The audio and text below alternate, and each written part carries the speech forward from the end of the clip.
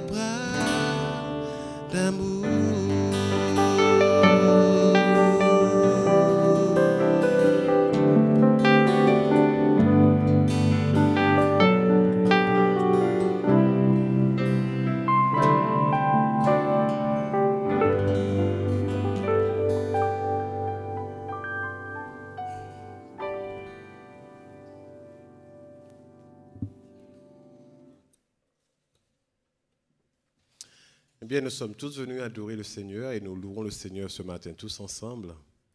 C'est toujours une grande joie pour le peuple de Dieu de savoir qu'il rencontre son Dieu. Mais Dieu est beaucoup plus qu'un Dieu pour nous. Il est aussi un Père. Amen. Et c'est pour cela ce matin, quand nous avons besoin de certaines choses, nous nous approchons librement auprès de notre Père, car nous savons qu'il nous aime et qu'il prendra soin de nous. Et ce matin, j'aimerais vous inviter à adorer le Seigneur, mais comme un Père comme notre Dieu, certes, mais aussi avec ce sentiment que l'enfant qui reçoit de son Père. Je vais vous inviter à mettre debout. Nous allons chanter ce premier chant, Nous t'adorons. Ensuite, euh, il sera suivi simplement par ce deuxième chant où Dieu décide d'être notre force, notre consolation, et que ce Dieu qui donne, ce Père qui donne un amour infaillible. Alors ensemble, adorons notre Dieu à travers ce chant. Nous t'adorons, nous t'aimons, tendre Père. Dans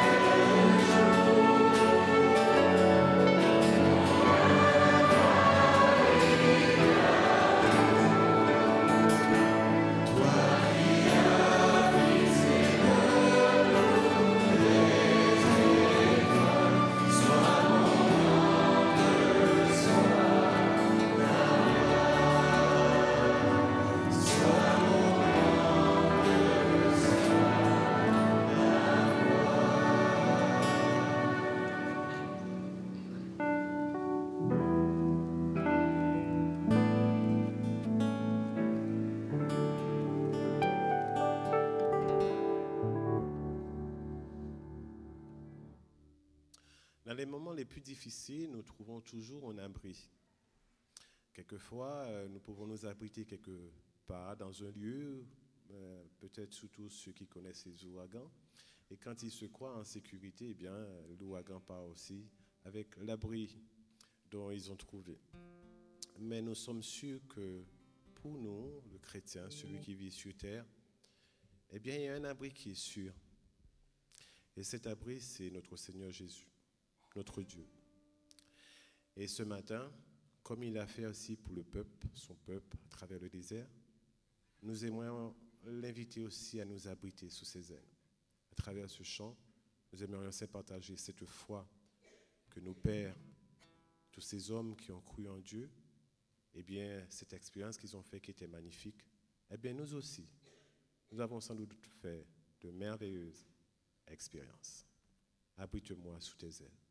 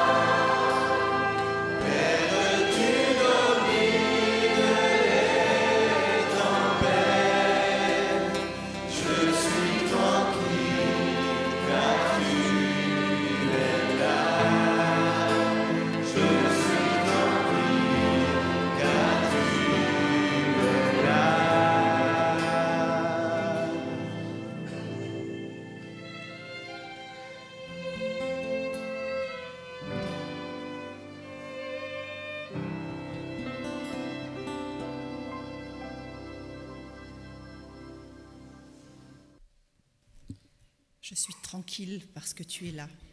Voilà une belle manière de finir notre partie de louange. Je vous invite maintenant à passer un moment en prière tous ensemble. Vous pouvez pour cela prendre la position qui vous convient le mieux.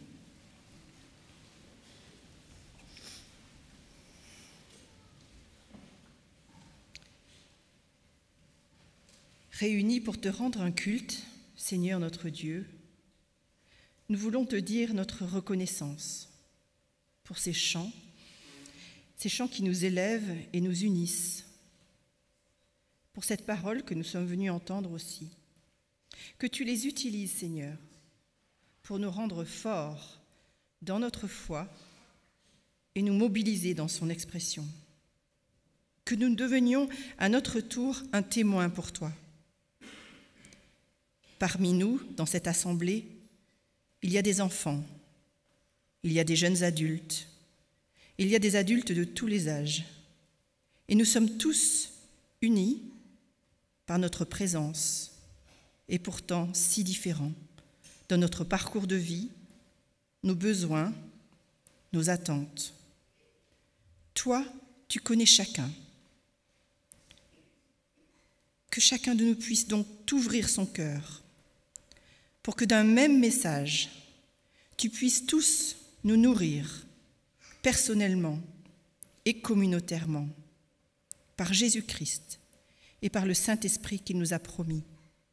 Amen.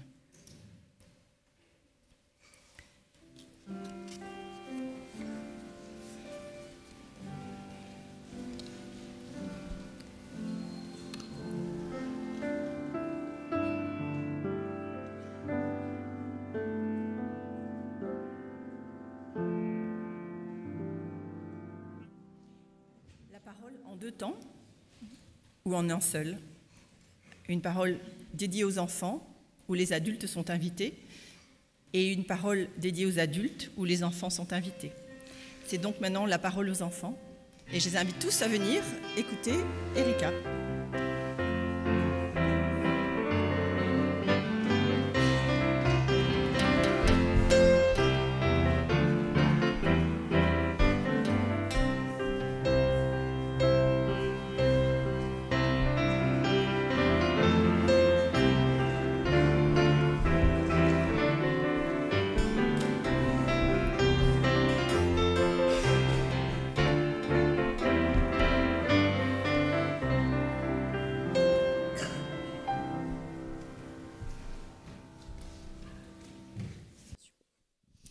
Bonjour les enfants. Alors aujourd'hui, je vais vous raconter l'histoire de Monsieur Li. Monsieur Li, comme son nom l'indique, il habite très loin. Il habite en Chine. Et Monsieur Li, il est très très riche. Il a fait fortune, donc il a tout ce qu'il lui faut, même bien plus que ce qu'il lui faut. Il a une grande maison, il a plein de voitures, il a plein plein plein de choses. Et il est très content, il est très reconnaissant aussi. Il se sent béni d'avoir toutes ces choses. Il a une grande famille aussi, il a une femme et des enfants. Et hum, malheureusement, en fait, à un moment, euh, sa fortune, euh, ses affaires, elles ont commencé à plus très très bien marcher. Et puis il a commencé à se faire du souci, à se dire ah mais comment je vais faire? Maintenant j'ai tellement de choses et puis j'ai ce grand ce grand palace un petit peu avec un énorme jardin. Il avait une maison mais magnifique. Puis il a dit, mais comment je vais faire pour euh, continuer à l'entretenir? Ça demande beaucoup d'argent et, mes affaires, elles vont pas très bien. Euh, bon, allez, on va essayer d'autres investissements, on va voir si ça va marcher. Et ça marche pas. Et petit à petit, Monsieur Lee commence à perdre tout son argent. Puis il se dit, bon, ben, comment est-ce que je vais faire? En plus, j'ai ma famille, j'ai des enfants, j'ai ma femme, il faut que je les nourrisse, il faut que, que je les protège. Et là, je, je peux même plus, en fait. Alors, euh, ben, j'ai plus vraiment le choix. Ce qui me reste à faire, c'est de vendre ma grande propriété. Mais vous croyez que ça lui faisait un peu mal au cœur? Un petit peu, hein. C'était vraiment une très très très belle maison, avec un beau jardin. Enfin, il avait tellement travaillé pour avoir cette maison. Mais il s'est dit, bon, ben, j'ai pas le choix, alors je vais vendre cette grande propriété, cette maison et ce beau jardin. Alors je vais mettre une annonce et on verra bien si quelqu'un est intéressé. Ah, bah il n'a pas fallu longtemps pour que quelqu'un soit intéressé, parce que le lendemain, il y a deux messieurs qui viennent et qui disent Ah, on a vu votre annonce, oh, on est vraiment, vraiment intéressé par votre maison. Hein. Mais enfin voilà, il faut juste qu'on vous explique. En fait, on a un projet, on aimerait pouvoir faire euh, une grande école. En fait, pour des enfants qui ont, qui peuvent pas vraiment, ils ont soit plus de parents, ou alors euh, les parents, ils n'ont pas les moyens de payer l'école pour eux. Donc on aimerait faire en tout cas une grande école pour ces enfants, pour recueillir des enfants, pour pouvoir leur donner une éducation, parce que sans nous, en fait, ils ne pourraient pas. Mais on doit vous dire quelque chose, c'est qu'on n'a pas beaucoup d'argent en fait pour ça. On est une association, on a, quelques, on a récolté quelques petits sous, mais on a vu que vous avez mis un prix très très fort et on comprend vraiment, c'est vraiment ce que ça vaut. C'est une belle propriété, mais on n'aura pas cet argent. Tout ce qu'on peut vous proposer, ben, c'est ça. Et lui montre ce qu'ils ont. Alors Monsieur Lee, il est un petit peu partagé parce que ben il a besoin de vendre cette propriété, mais en même temps il aurait espéré avoir quand même euh, récupéré beaucoup d'argent. Mais il dit, il est touché aussi par ce projet-là et il dit bon, ok, alors on va faire comme ça. Même si j'aurais vraiment voulu la vendre plus cher et, et peut-être du coup à d'autres personnes, mais ça me touche et j'aimerais ben être d'accord et puis dire je vous la vends à vous, ça va prendre un certain temps, mais en tout cas, ben, je, voilà, je vous la garde, cette maison, et puis je suis d'accord de vous la vendre. Alors les messieurs, ils disent Ah, merci, merci, vraiment, merci beaucoup. Et puis on vous laisse un peu d'argent. On vous laisse déjà une avance, comme ça, ben, c'est un peu réservé pour nous, le temps que les démarches se fassent. Alors monsieur Lee, il est d'accord, oui. Il rentre chez lui.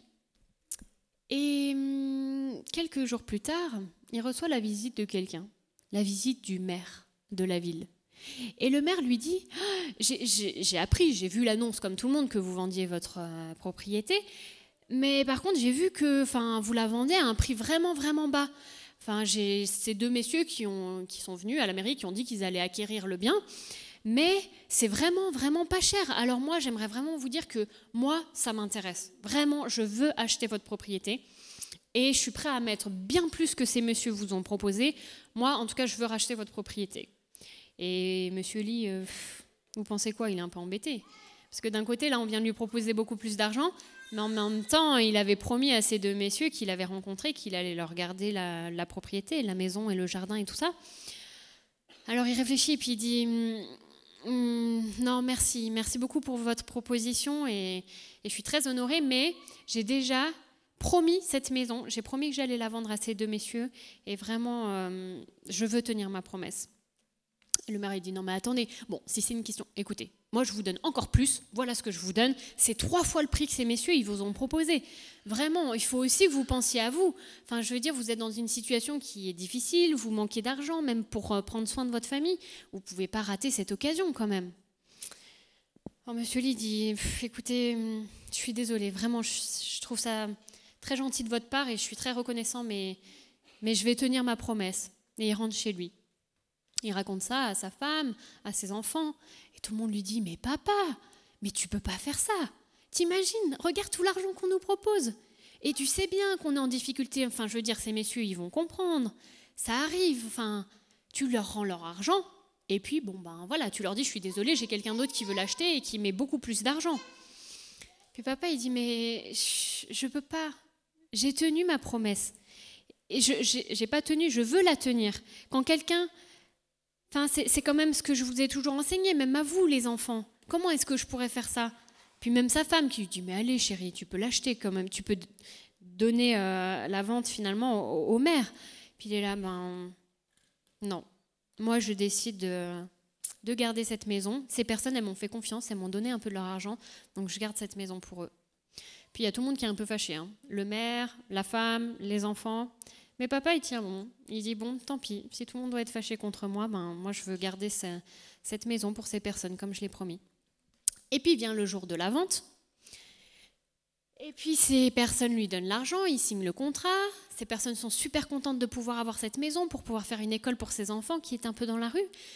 Puis papa, ben il repart un petit peu, un peu le cœur lourd parce que bon, il aurait tellement pouvoir avoir plus d'argent avec cette maison, mais il est content d'avoir tenu ce qu'il avait. Euh, dans son cœur de tenir ses promesses.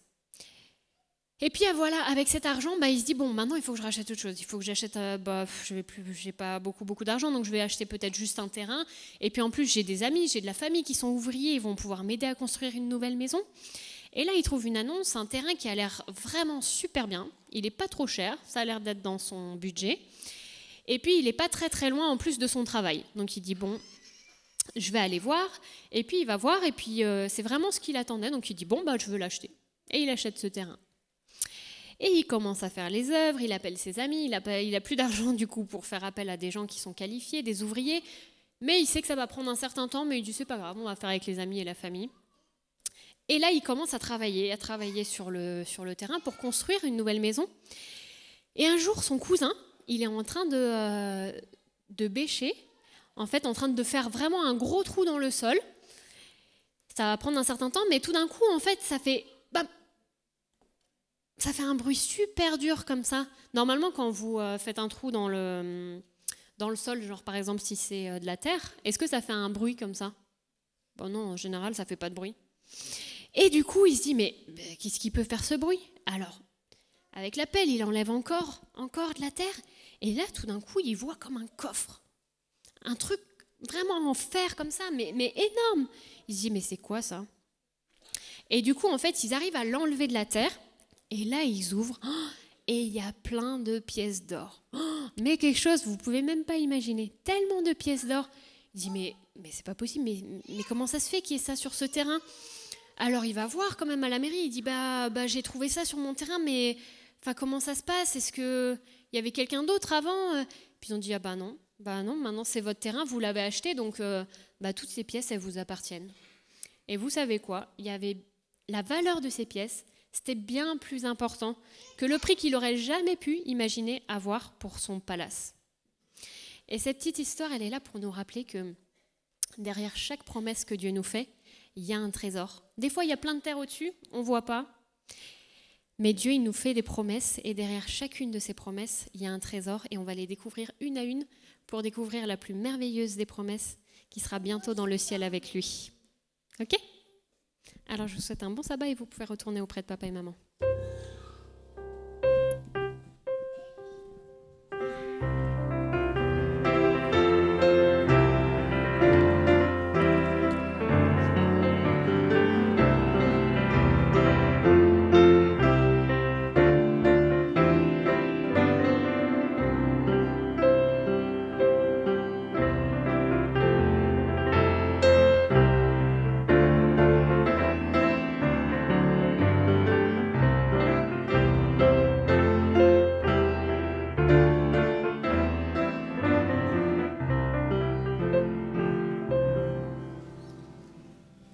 La lecture biblique d'aujourd'hui se trouve dans le livre de la Genèse, au chapitre 37, Genèse 37, à partir du verset 2, et on lira jusqu'au verset 28 certains versets. Genèse 37, à partir du verset 2. Voici l'histoire de la famille de Jacob. Joseph, âgé de 17 ans, gardait les moutons et les chèvres avec ses frères. Il avait passé son enfance avec les fils de Bila et de Zilpa, femme de son père. Ils rapportaient à leur père leurs mauvais propos.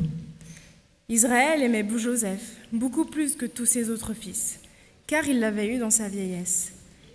Il lui fit une tunique splendide. Ses frères virent que leur père le préférait à eux tous, alors ils le prirent en haine, et ils ne pouvaient plus lui parler librement. Joseph fit un rêve et le raconta à ses frères qui ne l'en détestèrent que davantage. Il leur dit en effet, Écoutez, je vous prie ce songe que j'ai eu. Nous étions en train de lier des gerbes dans les champs. Soudain, ma gerbe s'est dressée et s'est tenue debout. Les vôtres se sont placés autour d'elle et se sont prosternés devant elle. Ses frères lui dirent Prétendrais-tu devenir notre roi et nous gouverner? Et ils le détestèrent de plus belle à cause de ses songes et de ses propos. Il eut encore un autre rêve qu'il raconta également à ses frères. Voici, leur dit-il, j'ai encore fait un rêve. J'ai vu le soleil, la lune et onze étoiles se prosterner devant moi. Quand il raconta ce rêve à ses pères, à ses frères, son père le réprimanda et lui dit Qu'as-tu rêvé là? T'imagines-tu que moi, ta mère, tes frères, nous allons nous prosterner en terre devant toi? Ses frères étaient jaloux de lui, mais son père garda la chose en mémoire. Les frères de Joseph allèrent faire paître les troupeaux de leur père dans la région de Sichem. Joseph partit donc à la recherche de ses frères et les trouva à Dothan. Ceux-ci l'aperçurent de loin. Avant qu'il ne soit près d'eux, ils complotèrent de le faire mourir. Voilà le maître rêveur qui arrive, se dirent-ils les uns aux autres. C'est le moment. Allez, tuons-le et jetons-le dans une citerne, et nous dirons qu'une bête féroce l'a dévoré. On verra bien alors ce qu'il advient de ses rêves. Lorsqu'il entendit cela, Ruben chercha à sauver Joseph. Il dit, Ne portons pas atteinte à sa vie. Il ajouta, Ne répandez pas le sang, jetez-le dans cette citerne qui se trouve dans le désert, mais ne portez pas la main sur lui. Il avait l'intention de le sauver pour le renvoyer à son père. Dès que Joseph eut rejoint ses frères, ils le dépouillèrent de sa tunique, cette tunique splendide qu'il portait. Ils se saisirent de lui, le jetèrent au fond de la citerne. Elle était vide, il n'y avait pas d'eau dedans. Puis ils s'assirent pour manger. En regardant au loin, ils aperçurent une caravane d'Ismaélites venant de la région de Galaad et dont les, chameaux étaient chargés de gomme, de baume et de myrrhe. Ils transportaient en Égypte. Alors Jésus dit à ses frères, alors Judas dit à ses frères, Quel intérêt avons-nous à tuer notre frère et à cacher sa mort? Vendons-le plutôt aux Ismaélites. Ne portons pas la main sur lui, car c'est notre frère, il est du même sang que nous. Ses frères furent d'accord, et lorsque les marchands madianites passèrent, ils hissèrent Joseph hors de la citerne et le vendirent aux Ismaélites pour vingt pièces d'argent, et ceux-ci l'emmenèrent en Égypte. Un culte oasis a été prévu à l'église ce matin, mais cela a été reporté. Alors, au lieu de trouver un autre message, j'ai préféré garder ce que j'avais préparé. Un message un peu plus narratif, un peu moins explicatif. Il s'agit d'une histoire que nous connaissons tous, l'histoire de Joseph, fils de Jacob, à qui il est arrivé toutes sortes de mésaventures. Joseph avait déjà 17 ans au moment où commence cette histoire.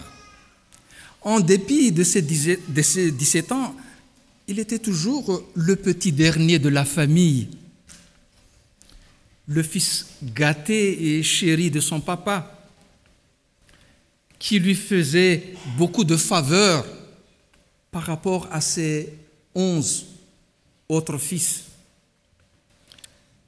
Ce qui est évidemment n'était pas très juste. Peut-être cela rappelait à Jacob sa femme Rachel, qu'il avait tant aimée quand il était jeune. Mais voilà, en faisant des cadeaux somptueux à son fils Joseph, cela ne lui rendait pas service du tout sur le plan de la maturité et du caractère.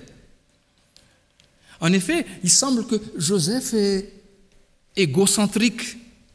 De plus, d'après le texte que nous venons de lire, rapporteur. Il écoutait ce que disaient ses frères et racontait tout à son père. Mais en général, ils ne rapportèrent pas leurs bonnes paroles, mais plutôt celles qui les auraient, plutôt les mauvaises, celles qui les accusaient. Alors, euh, un jour, euh, Joseph a un rêve. Pas n'importe quel type de rêve. Pas un rêve comme euh, on en fait toutes les nuits et qui ne vaut même pas la peine d'être mentionné. C'est un rêve différent, revêtu d'une grande intensité. En fait, ce n'est pas un seul rêve, mais deux. Deux rêves successifs qui se renforcent l'un et l'autre. À cette époque, certains songes, quand ils étaient revenus d'une force particulière, étaient considérés comme des révélations de Dieu, des annonces prémonitoires, c'est-à-dire annonciateurs de ce qui allait se passer bientôt. Mais quand il y avait deux, c'est le signe que la chose est sûre, décidée comme un décret de Dieu. Et donc, en recevant ce rêve, Joseph est content, il est joyeux, et il se dépêche d'aller vers ses frères, espérant peut-être changer leur mépris en estime, voire même en admiration. Mais c'est tout le contraire qui s'était produit. Car le rêve est très valorisant pour Joseph, mais pas du tout pour ses onze frères. Les gerbes de blé qui s'inclinent devant celles de Joseph, cela laisse penser qu'un jour, ils vont tous venir se prosterner devant lui et que Joseph va même régner sur toute la famille. Et voilà, les frères le reprennent. Ils se moquent de lui. Ils lui disent, mais pour qui te prends-tu, Joseph? De même, son père, cette fois-ci aussi, va le réprimander. Mais pour qui te prends-tu? Personne de sa famille ne croyait à ce rêve. Ne croyait pas que ce rêve vient de Dieu. Mais tous pensent qu'ils proviennent d'un orgueil démesuré. Et alors la haine entre Joseph et ses onze frères devient encore plus forte. Il ne supporte plus ce jeune homme centré sur lui-même, égoïste, rapporteur, prétentieux. Et un jour, alors qu'ils s'éloignaient de l'endroit où ils habitaient afin de garder leurs nombreux troupeaux, voilà, ils ont l'idée terrible de tuer Joseph et de faire croire à un accident. C'est évidemment très grave et d'une extrême méchanceté, n'est-ce pas? Mais heureusement, tout au dernier moment, au lieu de le tuer, il change d'avis et décide de le vendre comme esclave à des Ismaélites qui passent par là et qui vont aller en Égypte. Pour eux, c'est une bonne affaire. Ils se débarrassent de leur petit frère et en plus, ils récupèrent un peu d'argent. Et donc, Joseph, qui venait de recevoir une révélation de Dieu et qui pensait recevoir l'estime de ses frères, voilà qu'il se retrouve maintenant ligoté et amené de force pour être vendu comme esclave à des Égyptiens. C'est vraiment une curieuse manière pour son rêve de s'accomplir. Les mois passent et Joseph, qui est maintenant esclave en Égypte, travaille chez un officier de Pharaon nommé Potiphar qu'il a acheté. Oui, c'est pas facile la vie d'un esclave. Il faut obéir à tous les ordres, sans rien dire, sans liberté et sans être payé, bien sûr. Mais même là, Dieu est avec lui dans ce travail modeste d'esclave. Et comme tout ce qu'il entreprend réussit, Potiphar décide de lui donner de plus en plus de responsabilités. Et au bout d'un certain temps, il devient même le chef de tous les serviteurs de la maison de Potiphar. Alors il va se dire peut-être la promesse de Dieu va bientôt se réaliser. Eh bien non. C'est à cette période que la femme de Potiphar, qui se sent peut-être seule, demande à Joseph de satisfaire ses désirs et de coucher avec elle. Mais Joseph refuse. Il refuse de faire ce qui est mal aux yeux de Dieu et de trahir son maître. Alors pour se venger, cette femme va l'accuser d'avoir voulu jeter sur elle pour lui faire du mal. Et comme Joseph, il n'est qu'un esclave, il va être condamné sans appel et immédiatement jeté en prison. C'est de pire en pire. Il a reçu un rêve de Dieu que ses frères allaient se prosterner devant lui. Mais non seulement il n'est plus dans le même pays qu'eux, mais sa situation personnelle ne cesse de s'aggraver. Il est maintenant dans une prison, loin de la lumière et de la vie. Joseph espère que quelqu'un va prendre sa défense et reconnaître cette terrible erreur, cette terrible injustice. Mais les années passent et rien ne se passe. Il n'y avait ni procès équitable, ni sursis, ni même de durée limitée à l'emprisonnement à cette époque. On pouvait rester en prison à vie jusqu'à la fin de ses jours. Vous, vous connaissez l'histoire de Joseph, mais lui, il ne savait pas comment cela va se terminer. Et là, il avait vraiment de quoi s'inquiéter, de s'interroger sur les raisons de tous ces malheurs. Qu'ai-je fait de mal pour que tant d'épreuves s'abattent sur moi À ce moment de sa vie, Joseph n'avait en réalité qu'une seule consolation, une seule espérance que le rêve annonciateur de ses 17 ans s'accomplisse un jour. Mais devant toutes ces difficultés, est-ce que Joseph avait-il encore la force d'y croire De croire que Dieu lui avait vraiment fait une promesse? Et les mois s'écoulent en prison. Mais même là, dans l'obscurité de cette prison, Dieu est avec lui. Il est avec lui dans certains petits services qu'il doit accomplir comme prisonnier. Et comme tout ce qu'il fait lui réussit, le chef de la prison décide de lui confier de plus en plus de responsabilités. Et voilà, Joseph se trouve encore une fois à organiser organiser toutes choses dans cette grande prison du roi.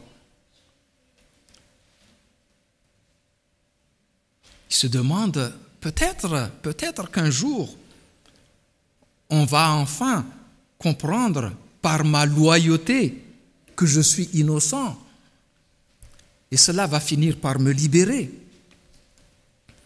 Oui, il se demande comment un Dieu droit, juste, un Dieu amour peut-il permettre une telle injustice?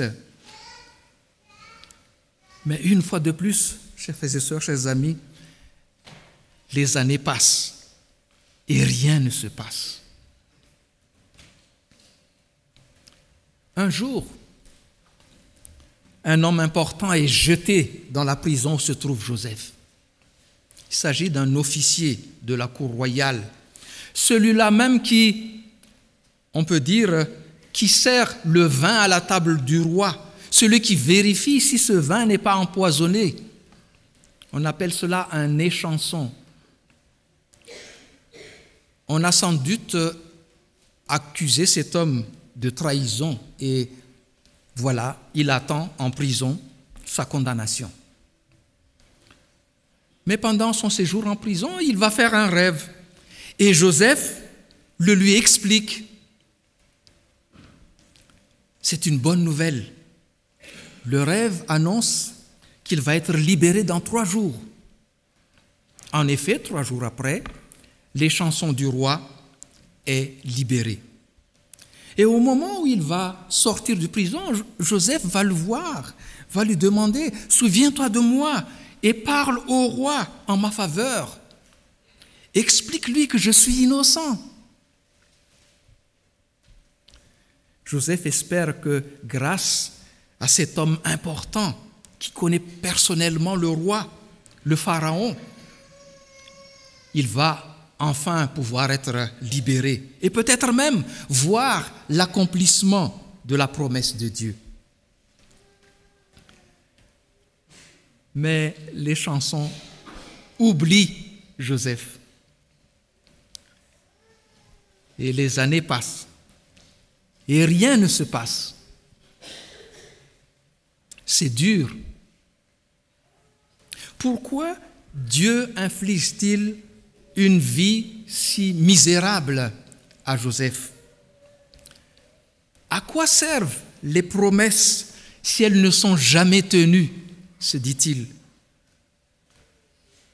Ne vaut-il pas mieux ne pas en faire du tout? Deux ans passent encore. C'est alors que Pharaon lui-même a un rêve. Vous ne trouvez pas que c'est une épidémie de rêves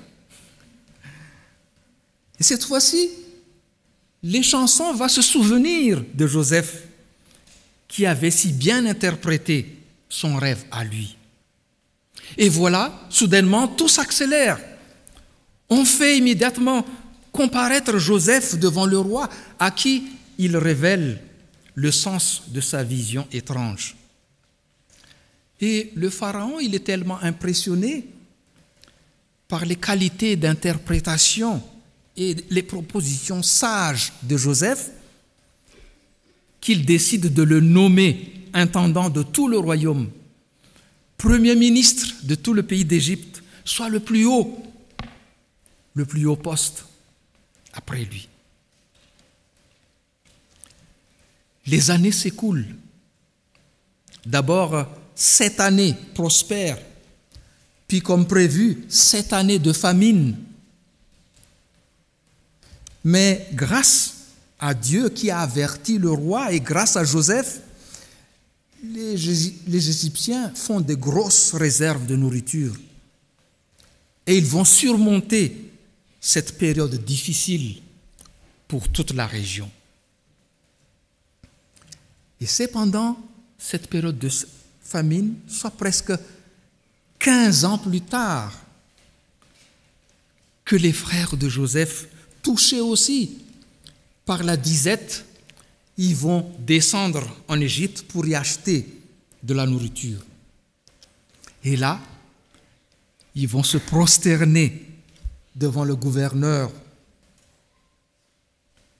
pour qu'il lui vende du blé sans même savoir qu'il s'agit de Joseph. Ils vont ainsi accomplir le fameux rêve prophétique que Dieu avait donné à Joseph bien des années avant. La promesse que Joseph avait reçue du Seigneur s'est réellement accomplie. Après bien des épreuves, et bien des années de patience.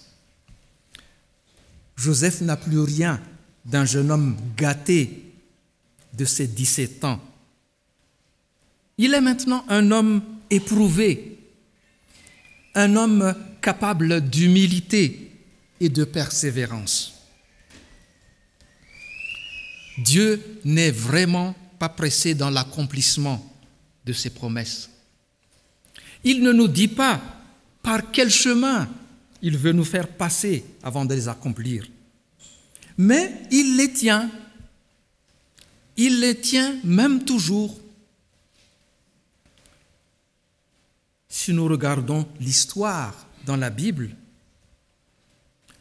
toutes les promesses de Dieu dans l'histoire se sont accomplies, que ce soit celles faites à Abraham, à Moïse, au roi David, à son fils Salomon, que ce soit les promesses faites aux prophètes, aux apôtres, toutes se sont accomplies. Nous n'aurons pas le temps de les énumérer. Et celles qui ne se sont pas encore accomplies, qui sont annoncées et attendues pour le retour de Jésus et que nous attendons leur réalisation. Vous connaissez ce très beau passage qui n'est fait que d'une succession de promesses ajoutées l'une aux autres, des promesses de Jésus lui-même réservées à ceux qui aiment Dieu à ceux qui cherchent à lui plaire. Je vais vous en lire une partie dans l'évangile de Matthieu chapitre 5, le verset 7 à 12. Heureux ceux qui témoignent de la bonté, car Dieu sera bon pour eux. Heureux ceux dont le cœur est pur, car ils verront Dieu. Heureux ceux qui répandent autour de la paix, car Dieu les reconnaîtra pour ses fils. Heureux ceux qui sont opprimés pour la justice, car le royaume des cieux leur appartient. Heureux serez-vous quand les hommes vous insulteront et vous persécuteront, lorsqu'ils répandront toutes sortes de calomnies sur votre compte à cause de moi. Oui, réjouissez-vous alors et soyez heureux, car une magnifique récompense vous attend dans les cieux. Car vous serez ainsi comme les prophètes autrefois. Eux aussi ont été persécutés avant vous de la même manière.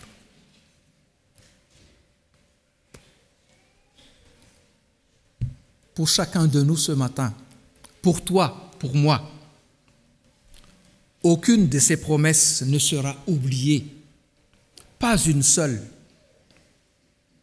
De la même manière que le rêve de Joseph s'est accompli, toutes ces promesses que nous venons d'entendre s'accompliront aussi. Ces promesses sont tellement sûres, absolument certaines aux yeux de Dieu, qu'il nous demande de nous réjouir tout de suite dans l'espérance de leur accomplissement. Quand nous regardons le monde qui nous entoure, la réussite des grands, des puissants et de ceux qui gouvernent peut souvent nous laisser croire que ce sont toujours les forts, les rusés, les menteurs ou les manipulateurs qui gagnent. Mais dire cela, chers frères et sœurs, c'est oublier qu'il existe des lois plus élevées. Ce sont les lois divines qui découlent des attributs même de Dieu. Un jour, la patience de Dieu va prendre fin et la justice de Dieu va s'appliquer à ce monde et le remettre en ordre avec autant de certitude que les lois de gravité font tomber un objet à terre. La question n'est pas de savoir si oui ou non Dieu va le faire, mais simplement quand, quand il va le faire. C'est la seule question qui se pose encore. La seule chose qui demeure difficile pour nous aujourd'hui, c'est l'attente, la patience et la persévérance durant tous ces moments difficiles, toutes ces difficultés qui précèdent l'accomplissement de la promesse de Dieu. Un peu comme dans l'histoire de Joseph, lui qui a attendu de longues années avant que le rêve reçu de Dieu ne se réalise. Pendant tout le temps de ces difficultés, seule la promesse que Dieu lui avait envoyée pouvait le consoler et le faire espérer. Il l'a sans doute conservé dans son cœur comme un trésor personnel en refusant de se décourager. Et nous aussi, chers frères et sœurs, et plus particulièrement chers jeunes qui sont là aujourd'hui, nous devons aussi imiter Joseph, nous accrocher fermement aux promesses de Dieu, parce qu'elles vont s'accomplir. Son histoire est en effet un bel exemple de persévérance et de patience. Mais cette histoire avait aussi une autre fonction bien plus importante encore. Elle avait pour but de préparer le peuple d'Israël à accepter la venue du Messie. Car la vie, la vie de Jésus n'a pas été facile non plus. Joseph et Jésus ont beaucoup de points communs. En voici quelques-uns. Premier point commun, les deux ont été des sauveurs du peuple de Dieu. Pas dans le même domaine, bien sûr. De son côté, Joseph a évité à sa famille la faim, le manque de pain et donc la mort physique. Tandis que Jésus nous a évité le manque d'espérance et la mort spirituelle. Deuxième chose, les deux, Joseph et Jésus, ont été profondément aimés par leur Père. Mais les deux ont été aussi haïs et trahis par leurs frères, jaloux de cet amour. Dans les deux cas, les frères de Joseph ou les Juifs au temps de Jésus ont trouvé que leurs prétentions respectives étaient déplacées et exagérées. Et ils n'y ont pas cru. Dans les deux cas également, leur jalousie s'est transformée en une haine à mort. Et l'un et l'autre ont été vendus pour une somme d'argent. Joseph pour 20 pièces d'argent, Jésus pour 30. Dans les deux cas encore, Joseph et Jésus ont été faussement accusés et jugés coupables d'un crime qu'ils n'avaient pas commis. Dans les deux cas, Joseph et Jésus ont survécu à une mort certaine. Pour Joseph, parce qu'au dernier moment, il a été vendu aux Ismaélites. Pour Jésus, parce que Dieu l'a ressuscité des morts. Dans les deux cas, Joseph et Jésus ont été élevés en dignité après une période de souffrance et même tous investis d'une autorité royale après être partis vers un pays lointain. Joseph, il est parti en Égypte, tandis que Jésus, il est monté au ciel, là où il est encore. Enfin, dernier point commun, les deux, Joseph et Jésus, ont sauvé ceux-là même qui les avaient trahis et rejetés. Et dans les deux circonstances, c'est Dieu qui était à l'origine de ces délivrances. En fait, il y a tellement de similitudes qui ne doivent pas exister dans la Bible d'autres personnages dont la vie ressemble autant à celle de Jésus.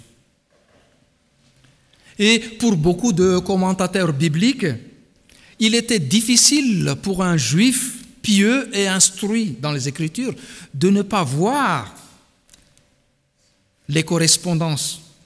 L'histoire de Joseph prépare et pointe vers celle de Jésus. Chers amis, chers frères et sœurs, chers jeunes,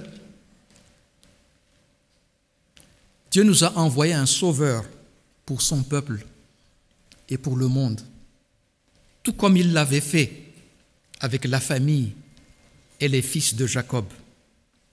Et si Dieu a permis l'histoire de Joseph, c'est pour que nous aussi, nous soyons assurés que lui, il va assurer, il va accomplir la promesse de vie éternelle qu'il nous offre en Jésus-Christ. Nous sommes un peu comme les frères et sœurs de Joseph, sauf que notre Sauveur n'est pas Joseph, mais Jésus. Nous devons aller chercher de la nourriture spirituelle auprès de lui et surtout croire, s'accrocher fermement aux promesses encore plus belles qu'il nous a faites. Un jour, nous hériterons vraiment de la vie éternelle et entrerons dans le royaume du Père.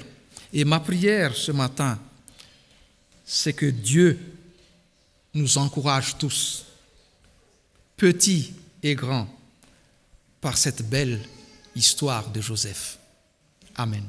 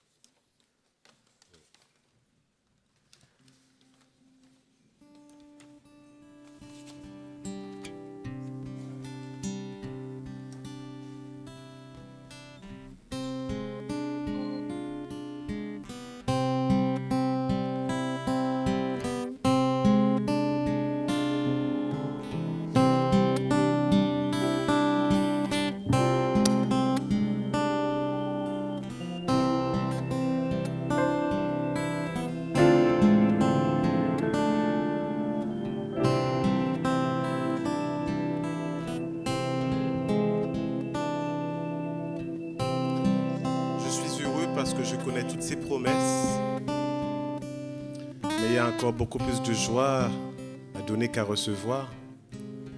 Et il y en a beaucoup qui ne connaissent pas les promesses que Jésus a faites dans sa parole. Ce chant nous invite simplement à partager ses promesses.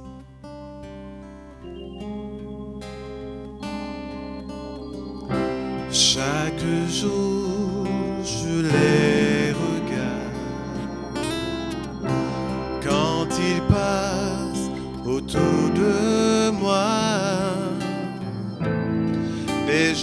acontecer.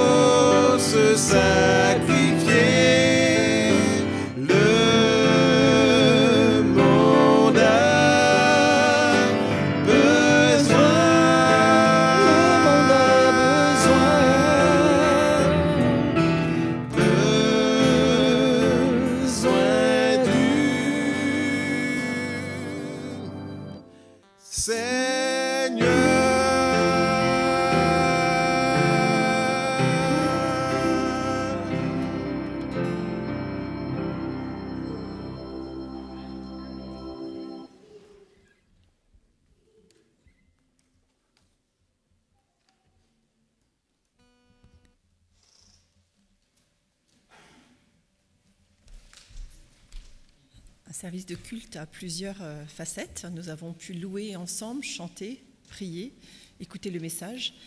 Maintenant, euh, nous allons pouvoir donner aussi financièrement, qui permet à l'Église de fonctionner et de continuer de grandir et de partager le message. Et donc vous pourrez maintenant euh, participer de cette manière-là. Les, les diacres vont passer dans les rangs et récolter donc les offrandes et les dons que vous avez préparés.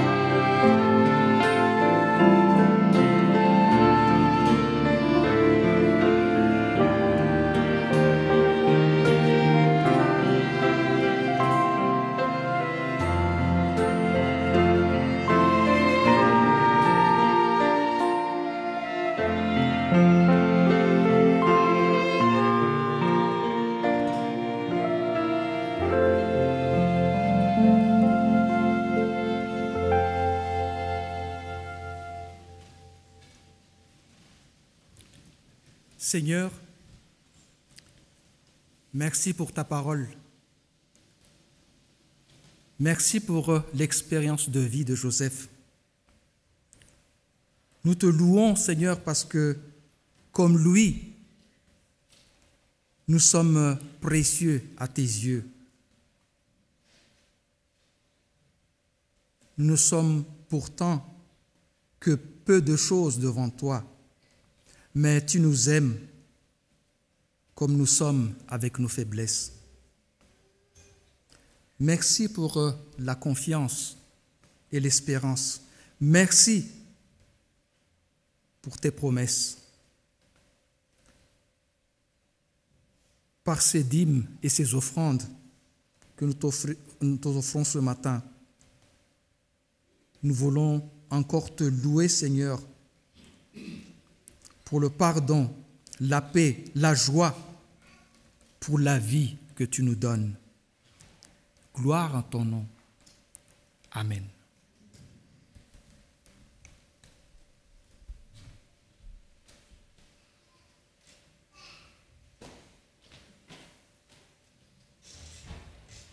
Les promesses du Seigneur sont les mêmes maintenant, mais aussi ce sont les mêmes promesses du passé.